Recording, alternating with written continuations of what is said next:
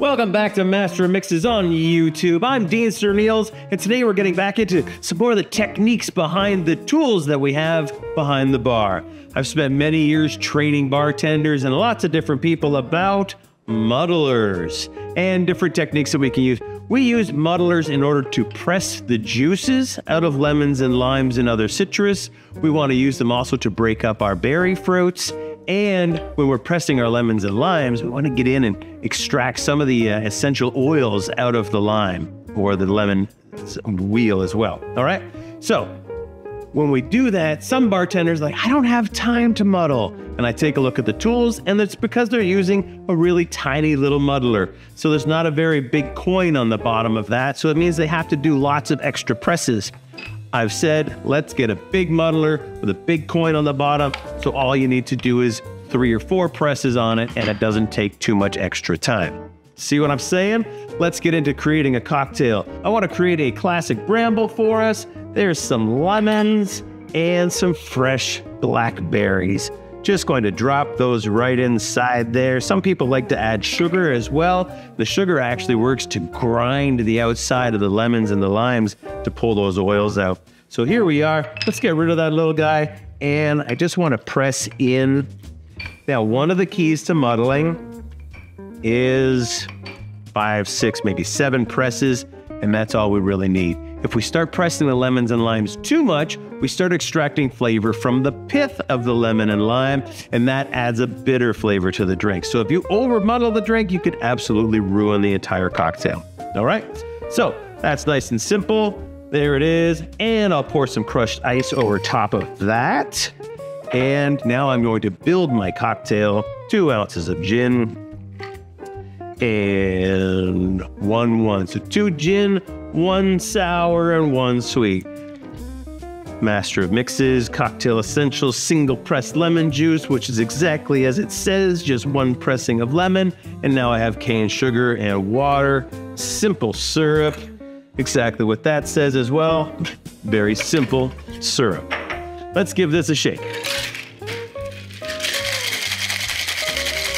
So now we're pouring a finished cocktail over top of the crushed ice.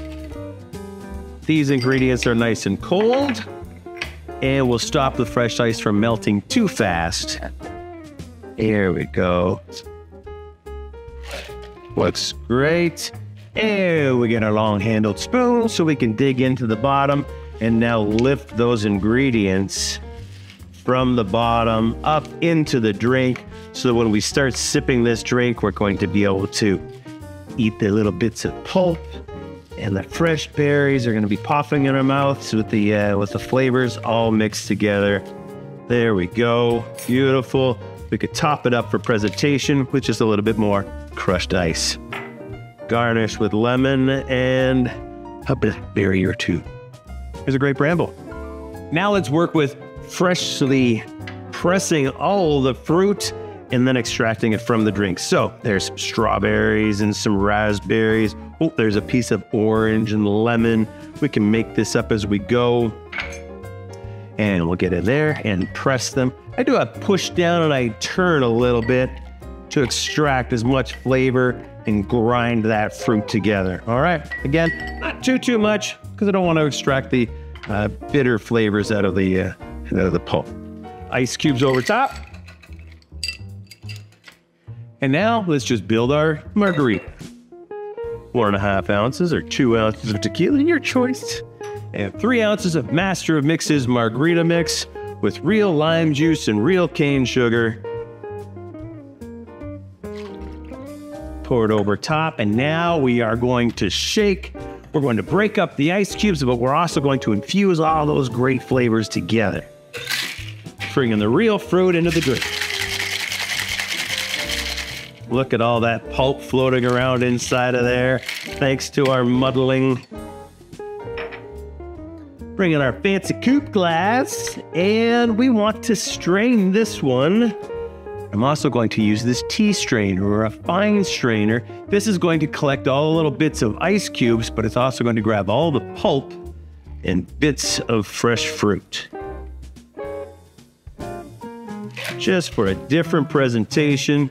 So In this case, when I'm muddling, I'm using it to extract the flavors of the fruit, where on the other one, I wanted to use it to extract the flavors, but also leave the pulp behind. So here we go. I'll give this a couple of taps, just so I look like a mixologist. And inside here, you'll see all kinds of little bits of ice and some kind of jam from the pulp there. And there it goes.